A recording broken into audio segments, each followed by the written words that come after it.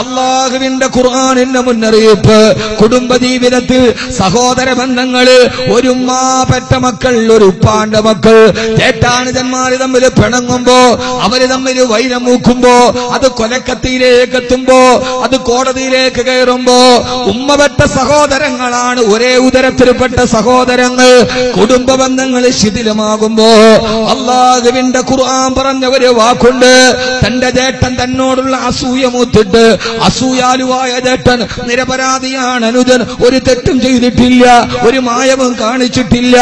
തന്റെ ചേട്ടൻ തന്നെ കല്ലാൻ വേണ്ടി ഒട്ടകത്തിന്റെ തോളെല്ലും എടുത്ത് തന്നെ അടിക്കാൻ വേണ്ടി പാഞ്ഞു വരുമ്പോ ചേട്ടൻ തന്നെ ഒട്ടകത്തിന്റെ തോളല്ലുകൊണ്ട് അടിക്കാൻ വേണ്ടി പാഞ്ഞു വരുമ്പോ ഒരനുജൻ പറഞ്ഞ മറുപടി ഖുർആൻ നമ്മോട് പങ്കുവെക്കുന്നുണ്ട് ഇത് ഖുർആൻ പറഞ്ഞതാണ് ലഇം ബസത്ത ഇലയ്യ യദക ലിതഖ്തുലനി മാ അന يدي യദിയ ഇലൈക ലിയഖ്തുലക. ഇന്നി അഖാഫുല്ലാഹ റബ്ബൽ ആലമീൻ. ജേട്ടനായ കാബീൽ കൊല്ലാൻ വരുമ്പോ ഒട്ടകത്തിന്റെ തോളൽ കൊണ്ടടിക്കാൻ വരുമ്പോ അടിക്കാൻ വരുന്ന ചേട്ടനോട് അനുദം പറയാണ്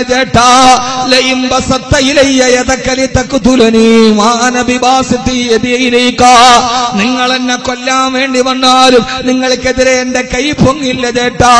എന്തുകൊണ്ടെന്നറിയുമോ? എനിക്ക് തിരിച്ചു ചോദിക്കാൻ അറിയാത്തത് കൊണ്ടല്ല എനിക്ക് പകരം വീട്ടാൻ അറിയാത്തത് കൊണ്ടല്ല ഞാൻ നിസ്സഹായനായത് കൊണ്ടല്ല ഞാൻ ദുർബലനായതായത് കൊണ്ടല്ല. നിങ്ങൾ ചെയ്തതുപോലെ തിരിച്ചു ചെയ്യാൻ എനിക്കറിയാത്തത് കൊണ്ടല്ല. പക്ഷേ ഇന്നി അഹാഫുല്ലാഹ റബ്ബൽ ആലമീൻ. ഇന്നി അഹാഫുല്ലാഹ റബ്ബൽ ആലമീൻ. സർവലോക രക്ഷിതാവായ അള്ളാനെ എനിക്ക് പേടിയാ. നാളെ അവന്റെ മുമ്പിൽ നിൽക്കണ്ട്. റബ്ബിന്റെ മുമ്പിൽ സമാധാനം പറയണ്ട്. അതുകൊണ്ട് നിങ്ങൾ എന്നെ കൊല്ലാൻ വന്നാലും ഞാൻ നിങ്ങളോട് തിരിച്ചു പറയില്ലെന്ന് പറഞ്ഞ ജയ- അനുജനെ പോലെ. കുടുംബ ബന്ധങ്ങളിൽ അള്ളാനെ ഓർമ്മ വേണേ ആര് കണ്ടില്ലെങ്കിലും എന്റെ റബ്ബെന്നെ കാണുന്നുണ്ട്. ഈ ബോധത്തിലൂടെ നടന്നു പോവുക. അള്ളാഹു നമ്മുടെ ജീവിതത്തിൽ മാറ്റം തരുമാറാകട്ടെ. രണ്ടാമത്തെ ചിന്ത സമയമേറെ വൈകുന്നല്ലോ സഹോദരങ്ങളെ പറയാനേറെ ബാക്കിയുണ്ടല്ലോ പ്രിയപ്പെട്ടവരെ.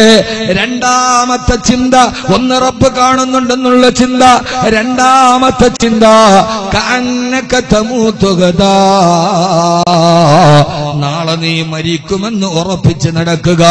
ഇന്നത്തെ ഇഷാനിസ്കരിക്കുമ്പോ ഇതെന്റെ അവസാനത്തെ ഇഷാനിസ്കാരമാണ് നാളത്തെ ഇഷായ്ക്ക് ഞാൻ ഉണ്ടാവില്ലെന്ന് ഓർന്നിട്ട് നടക്ക്. നാളെ മരിക്കുമെന്ന് ഉറപ്പിക്കുക. അള്ളാഹു തൗഫീക്ക് നൽകി അനുഗ്രഹിക്കുമാറാകട്ടെ. ഏറ്റവും നല്ല ചിന്ത രണ്ടാമത്തെ ചിന്ത നാളെ മരിക്കൂന്ന് ഉറപ്പിക്കുക. വിശാലമായിട്ട് പറയാൻ സമയമില്ല.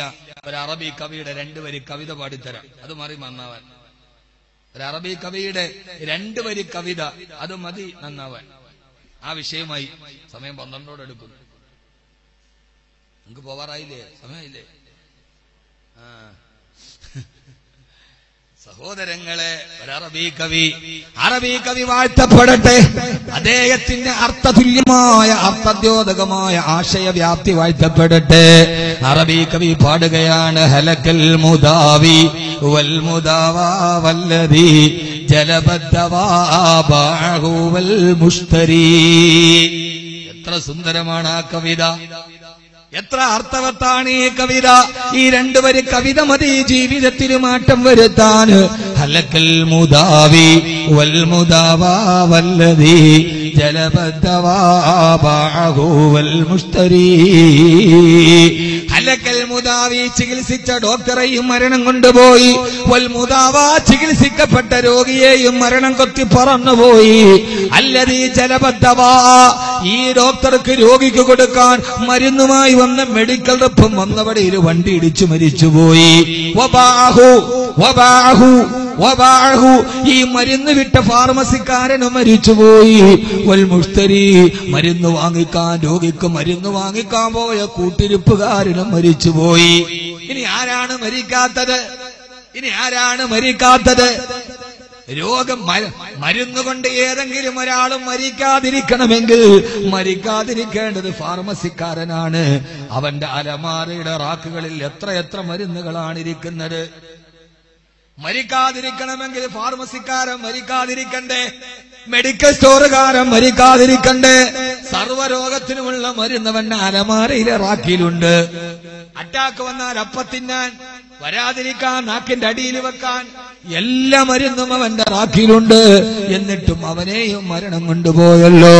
ഹലക്കൽ മുദാവി വൽ മുദാവാ വല്ലതി ജലബദ്ധവാൽ മുസ്തരി. തന്റെ ചികിത്സയുടെ കേമത്വം കൊണ്ട് ആയിരക്കണക്കിന് ക്യാൻസർ രോഗികൾക്ക് മരുന്ന് കൊടുത്ത് ചികിത്സിച്ച് ഭേദമാക്കിയ ഏറ്റവും വലിയ ക്യാൻസർ വിദഗ്ധനായ ഡോക്ടർ മരിച്ചത് ക്യാൻസർ വന്നിട്ടാണ്. ഇതാണ് വിധി. ഇതാണ് ജീവിതം.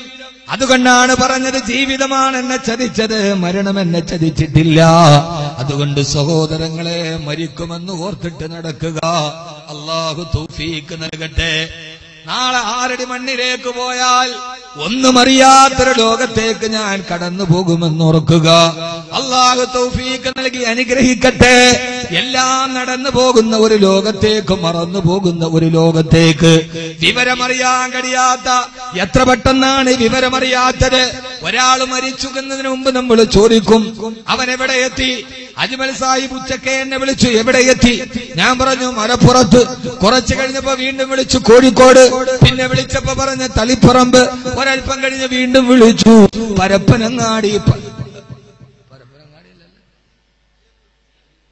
പയ്യന്നൂർ ഇപ്പൊ ഒരു സ്ഥലമുണ്ടല്ലോ പാപ്പിനിശ്ശേരി. പാപ്പിനിശ്ശേരിയിലും മകരിവ് നിസ്കരിക്കാൻ ഇറങ്ങിയിട്ടുണ്ട് ഇൻഷാല്ല ഉടനെ എത്തും. ഞാൻ അദ്ദേഹം പറഞ്ഞ വീട്ടിന് ഞങ്ങൾ കാത്തിരിക്കുകയാണ്. സ്നേഹബന്ധങ്ങളെ അല്ലാഹു നിലനിർത്തി തരട്ടെ അദ്ദേഹത്തിന്റെ സൽക്കുർമ്മങ്ങളെ അല്ലാഹു സ്വീകരിക്കട്ടെ. ആരും അറിയാതെ ചെയ്യുന്നത് അല്ലാഹുവേ നീ അറിയുന്നുണ്ട്. അർഹമായ പ്രതിഫലം നൽകണേ തമ്പുരാനെ. കുറെ കഴിഞ്ഞപ്പോ വിളിച്ചു. ഞാൻ ഫോൺ എടുത്തില്ല. കാരണം ഞാൻ മെല്ലെ മയക്കത്തിലേക്ക് വീണു. അപ്പൊ പിന്നെ ഡ്രൈവറെ വിളിച്ചു. എവിടെ എത്തി? ഇവിടെ എത്താറായി. ഞാൻ പറഞ്ഞത് എന്തെന്നറിയുമോ അഹമ്മദ് കബീർ ബാക്കവിയുടെ വിവരങ്ങൾ അറിയണമെങ്കിൽ എന്റെ ഫോൺ നമ്പറിൽ നിങ്ങൾ വിളിച്ചാൽ മതി. പക്ഷെ എടുക്കില്ലെന്ന് മാത്രം. പരിഭവങ്ങളില്ല. സഹോദരങ്ങളെ ഒരാൾ ജീവിച്ചിരിക്കുമ്പോ മരിച്ചു കഴിഞ്ഞാലും ചോദിക്കും എപ്പോഴാണ് മരിച്ചത്? ഇന്നലെ രാത്രി ഉറക്കത്തിലാണ് മരിച്ചത്. ഇപ്പൊ എന്തെടുക്കുന്നു? ആളുകളൊക്കെ വന്ന് കാണുന്നുണ്ട്. ബൊഹരട് നിങ്ങൾ വിളിക്ക്. മകൻ ഗൾഫിൽ നിന്ന് പുറപ്പെട്ടിട്ടുണ്ട്. അസറാകുമ്പോ നിങ്ങൾ വിളിക്ക്. മയ്യത്ത് പള്ളിയിലേക്ക് എടുത്തിട്ടുണ്ട്. അസർ കഴിഞ്ഞിട്ട് വിളിക്ക്. മയ്യത്ത് നിസ്കാരം കഴിഞ്ഞിട്ടുണ്ട്. ഒരു പതിനഞ്ച് മിനിറ്റ് കഴിഞ്ഞ് വിളിക്ക്. ഇപ്പൊ എന്താണ് അവസ്ഥ? എല്ലാവരും കൂടി മയ്യത്ത് നിസ്കാരം കഴിഞ്ഞ കബറിലേക്ക് വെച്ചിട്ടുണ്ട്. ഉസ്താദ് തൽഖീനോതുന്നുണ്ട് അള്ളാഹുവിന്റെ കരാറിനെ കുറിച്ച് പറയുന്നുണ്ട്. ഒരഞ്ച് മിനിറ്റ് കഴിഞ്ഞു. ഇനി നിങ്ങൾ വിളിക്ക്. എന്തെടുക്കുന്നു? അറിയില്ല അറിയില്ല. മണ്ണിട്ട് മൂടി മണ്ണിന്റെ അടിയിലായി ഒരു ചാൺ മുകളിൽ ഞാൻ നിൽക്കുന്നുണ്ട്. പക്ഷെ ഇപ്പോഴത്തെ അവസ്ഥ എന്തെന്ന് എനിക്കറിയില്ല. എവിടെയാണ് എന്റെ ഉപ്പ? എവിടെയാണ് എന്റെ ഉമ്മ? എവിടെയാണ് കബീർ വാക്കവി അറിയില്ല അറിയില്ല. എനിക്കൊരൊറ്റ അവസ്ഥാന്തരങ്ങളെ കുറിച്ചറിയില്ല ഫോൺ കമ്പിലെറ്റർ മുഴുവനും നിലച്ചില്ലേ? ഇവർക്കുള്ള ഹാലറിയാത്തത് അത്ഭുതമല്ലേ തന്റെ കാവ്യ പല്ലതങ്ങൾ കൊണ്ട് ആത്മീയതയുടെ രാഗസുത പാടിത്തീർത്ത മലയാളത്തിന്റെ വലിയായ മഹാകവി തടവ മുഹമ്മദ് കുഞ്ഞു മൗലവി നവ്വറല്ലാഹു മറുക്കര മഹാനവറുകൾ പാടിത്തരികയാ ഫോൺ കമ്പി ലെറ്റർ മുഴുവനും നിലച്ചില്ലേ?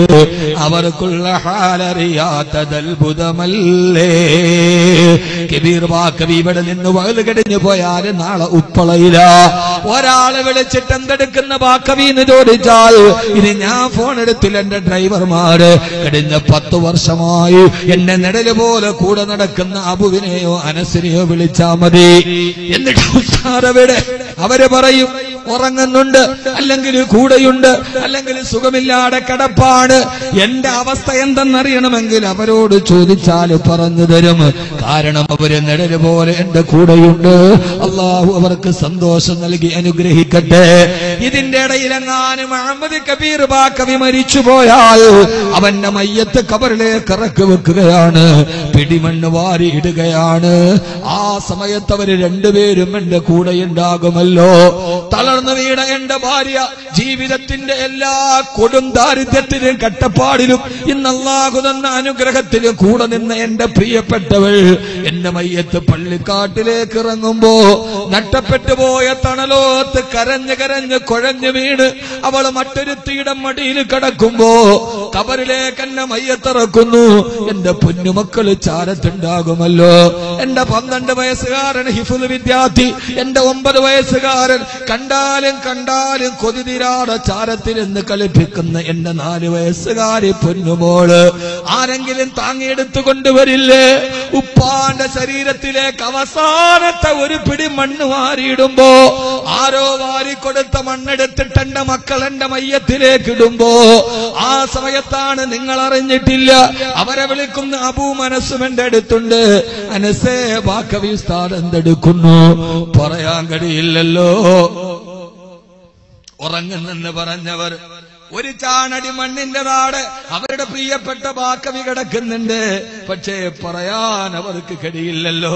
സഹോദര എന്തിനേറെ? ഉപ്പ കിടപ്പുണ്ടവിടെ ഉമ്മ കിടപ്പുണ്ടവിടെ സഹോദരൻ കിടപ്പുണ്ടവിടെ. വിളിച്ചാൽ കേൾക്കുന്ന അകലത്തിൽ നമ്മൾ നിൽപ്പുണ്ട് മിസാങ്കല്ലിന്റെ അടിയിലെന്ന് നടക്കുന്നെന്ന് നമുക്കറിയില്ലല്ലോ. മീസാങ്കല്ലിന്റെ മുമ്പിലൂടെ പോകുന്ന പശുക്കുട്ടിക്കറിയാം നായ്ക്കുട്ടിക്കറിയാം. അവർ വരണ്ടിട്ട് അതിലൂടെ ഓടാൻ തുടങ്ങും. എന്തേ പള്ളിക്കാടിന്റെ മുകളിൽ ഒരു പശുക്കുട്ടിയെ പുല്ലുമേയാ കാണാത്തത്? അവർക്ക് കബറിന്റെ അടുക്കിൽ നടക്കുന്ന ഭീകരത അറിയാം. പക്ഷെ മനുഷ്യ നിനക്കത് അറിയാൻ കഴിയില്ല. വെളിപ്പാടകലെ കിടക്കുന്നില്ലേ നിങ്ങളുടെ കൂടെ കിടന്നവർ? വിളിപ്പാടകലെ കിടക്കുന്നില്ലേ കട്ടപ്പെട്ട് വളർത്തിയ ഉപ്പ? ഇവരൊക്കെ ആരായിരുന്നു? സിംഹാസനത്തിനു ചുറ്റി നിന്നവരല്ലേ? പിടിമണ്ണ് വാരിയെറിഞ്ഞത് അത്ഭുതമല്ലേ? ഈ കബറിൽ നമ്മളല്ലേ പിടിമണ്ണിട്ടത്? ഇനി ഇവിടെ മനന്ന് കിടക്കും ആരാണ് പിടിമണ്ണിടുന്നത്? അതുകൊണ്ട് നന്നാവാൻ വേറൊരു വേദാന്തം വേണ്ട. കന്നക്കത്തമൂത്തുകതാ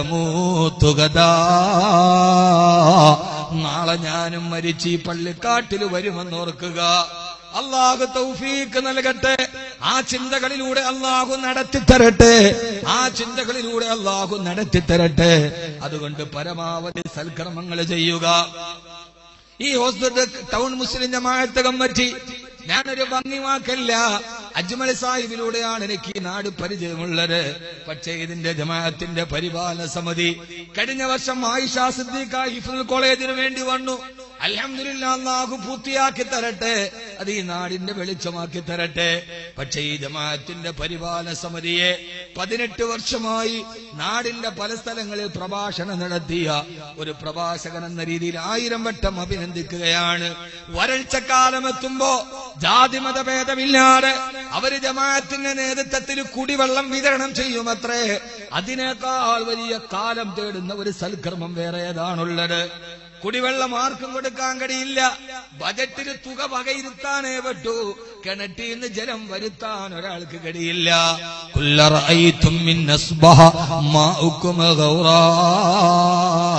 അതെ അതെ എത്ര സാമ്യമാണിത്. ഞാൻ ആദ്യം സൂറത്തിൽ മുലുക്ക് അതിന്റെ അവസാനത്തെ ആയത്താണിത്.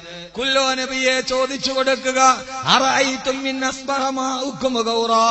നിങ്ങളുടെ ജലസ്രോതസ്സുകളെ ഞാൻ പിടിച്ചു പിടിച്ചാൽ നിങ്ങളെ നിങ്ങളുടെ ജലസ്രോതസ്സുകളെ നിങ്ങളുടെ വെള്ളം തരുന്ന സ്രോതസ്സുകളെ ഞാൻ തിരിച്ചു പിടിച്ചാൽ. ഒലിക്കുന്ന നീരുറവേ നിങ്ങൾക്ക് വേറെ ഏത് ദൈവമാണ് കൊണ്ടുവന്ന് തരിക സൂറത്തുൽ മുൽക്ക് തീരുന്നത് അങ്ങനെയാണ് എത്ര സാമ്യം ഞാൻ തുടങ്ങിയത് സൂറത്തുൽ മുൽക്ക് അവസാനിക്കുന്ന ആയത്ത് ജലസ്രോതസ്സുകളെ ഭൂമിയുടെ ഇടയിൽ നിന്ന് അരിച്ചു വരുന്ന ജലസ്രോതസ്സുകളെ ഞാൻ തിരിച്ചു പിടിച്ചാൽ. ഒലിക്കുന്ന നീരുറവ പിന്നെ നിങ്ങൾക്ക് ആരാണ് കൊണ്ടുവന്നു തരിക എന്റേതാണ് ജലം എന്റേതാണ് നീരുറവ വരൾച്ച കാലഘട്ടത്തിൽ ഈ ജമാഅത്തിന്റെ ചുമതലയേറ്റ പരിപാലന സമിതിയുടെ നേതൃത്വത്തിൽ ഒരു വാഹനത്തിൽ ജാതി മതഭേദമന്യേ ജലവിതരണമുണ്ട് അള്ളാഹു അർഹമായ പ്രതിഫലം നൽകട്ടെ നാളെ കബറിൽ പോയി കിടക്കുമ്പോ ഏറ്റവും കൂടുതൽ പ്രലോഭ പ്രതിഫലം കിട്ടുന്ന സൽക്കർമ്മം ഏതെന്ന് ചോദിച്ചപ്പോ ഹബീബായ നബിതങ്ങൾ പറഞ്ഞത് മൻ ഹഫറ ബിഇറ. ആരെങ്കിലും ഒരു കിണർ കുടിച്ചു കൊടുത്താൽ നബിയെ കബറിൽ ആദ്യ രാത്രിയിൽ രക്ഷപ്പെടാൻ പറ്റിയ ഏറ്റവും നല്ല സൽക്കർമ്മം. ആരെങ്കിലും ഒരു കിണർ കുഴിച്ചു കൊടുത്താൽ അവന്റെ കബറിന്റെ ആദരാത്തിലെ വെളിച്ചമാണെന്ന് ലോകൈക ഗുരു നബി മുഹമ്മദ് മുസ്തഫ. വെള്ളം കുടിക്കേൻ കബറിൽ സ്വർഗത്തിന്റെ വെള്ളം കുടിപ്പിച്ചു തരട്ടെ. പടച്ചവനെ അള്ളാഹുവേ ഈ വിനീതന്റെ പ്രഭാഷണത്തിന്റെ എഡിറ്റിംഗ് നിർവഹിക്കുന്ന സാസ്ക്രിയേഷൻ നീ ആ സഹോദരങ്ങളെ കാക്കണേ അല്ലാ കാക്കണേ അല്ലാ.